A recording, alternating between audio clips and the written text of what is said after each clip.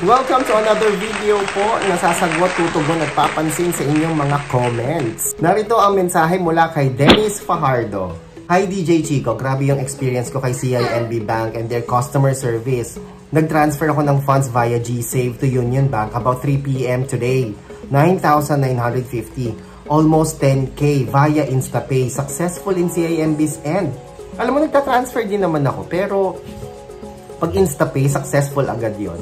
Kumbaga real time yung processing niya. Hindi ka mukha ng PesoNet. Parang mayroon sila cut off na 3pm. Kapag ka yung uh, tinransfer mo 3pm onwards ay matatransfer na to or magre-reflect na to the following banking days. Pero pag InstaPay, alam ko successful po ito. Wala pa akong experience na hindi siya na post real time sa InstaPay.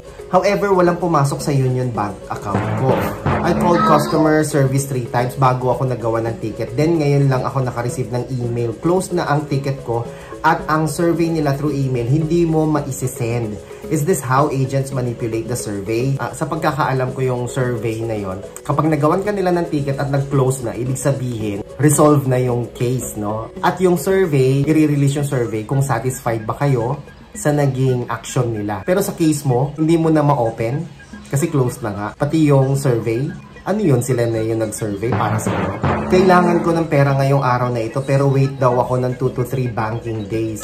Huh? Saan nagka-problema? Kay CIMB, eh successful naman kay CIMB. Nag-deduct na siya kay CIMB account mo. Ngayon, hindi pa pumapasok kay Union Bank. Alam mo may mga bangkong ganyan eh. Sa Robinsons Banking Corporation, doon pumapasok yung sa Google AdSense ko. Parang kailangan ko pang tawagan si Robinsons Bank para sabihin na kailangan ko yung pera ko. Ang tagal na sa kanila, hindi pa nila i-transfer. Hindi ka mukha kay Metro Bank 21st of the month yung releasing. Pagbilang ka lang ng 2 to 3 days na sa bank account mo na yung from Google AdSense. Pero kay Robinsons Bank, aabutin ka ng katapusan ng buwan. Tapos, para pansinin ka ng gusto, kailangan mong puntahan sa branch mismo para lang asikasuhin. ba? Diba?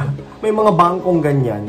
Kaya alam ginawa ko, from Robinsons Bank, binalik ko kay Metro Bank yung sa Google AdSense ko. Ayoko na doon sa Robinsons Bank. Ang tagal. Hindi ako satisfied sa Robinsons Bank. Masyadong mabusisi. Binalik ko na kay Metro Bank, simple kausap. Tapos lahat naman ng info ko naman, tama. At same bank account ko, both Union Bank and CIMB Bank. Aatakihin ako sa puso sa galit. Share ko lang sa iyo at sa mga viewers mo. And I hope Sir Dennis Fardo maging okay na po kayo. Ako po si Chico. Enjoy the rest of the day and God bless po.